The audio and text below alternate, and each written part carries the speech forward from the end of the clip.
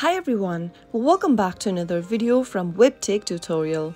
In today's episode, I'm going to be showing you how to sign up for Bitcoin wallet. So let's dive into the video right away. First of all, make sure that you've downloaded the bitcoin.com wallet application on your mobile device. Once you've done it, launch it open. Now you will reach to the sign in page for bitcoin.com where you will need to go ahead and enter your email address or sign in with your Apple ID or Google account. We are going to enter an email address. So let's go to the email tab and then type in a valid email address available to you. After typing in the email, tap on the little arrow facing towards the right corner and now you will need to check your email inbox. Now go ahead and launch open your email inbox where you'll receive the login request on bitcoin.com. Tap open the email and then tap on login. Once you open up your email inbox, go ahead and tap on the continue button and then after verifying your email, you will be able to log into your account. You can now complete your setup by tapping on this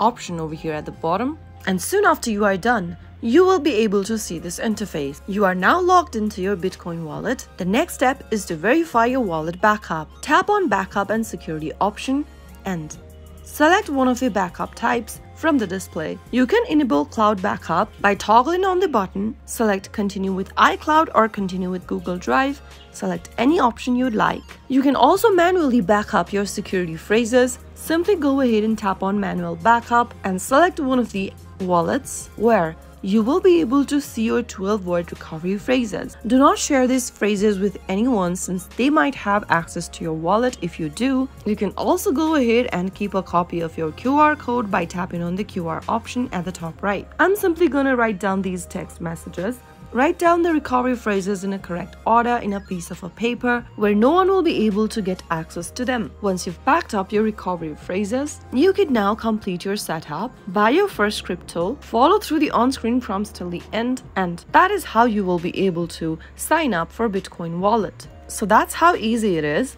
If you found the video to be helpful, go ahead and give us a thumbs up. Don't forget to subscribe to our channel by hitting the subscribe button. Also press on the bell icon so that you'll never miss another upcoming upload from us.